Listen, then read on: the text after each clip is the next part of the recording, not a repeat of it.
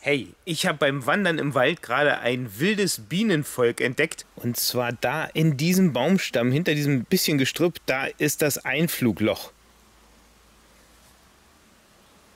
Ich gehe mal vorsichtig näher ran.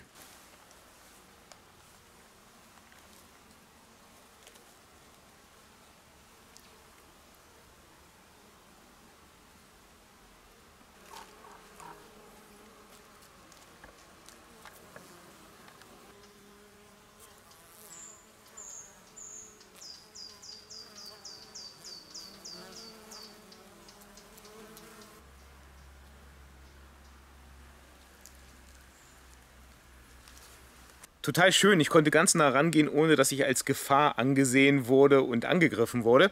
Ich bin kein Fachmann für Bienen, aber ich glaube, dass es sich um ein verwildertes Honigbienenvolk handelt. Honigbienen kommen bei uns ja eigentlich nur noch unter der Obhut von Imkern vor. Aber wenn so ein Bienenvolk zu groß wird, dann kann es wohl sein, dass ein Teil des Bienenvolks auszieht und sich eine neue Bleibe sucht.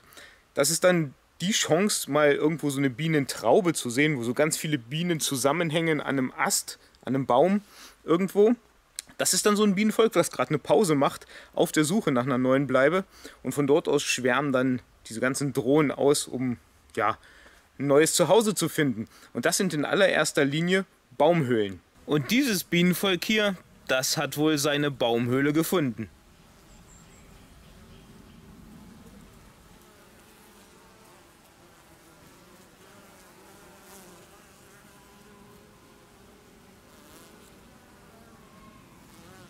Schön. Macht's gut.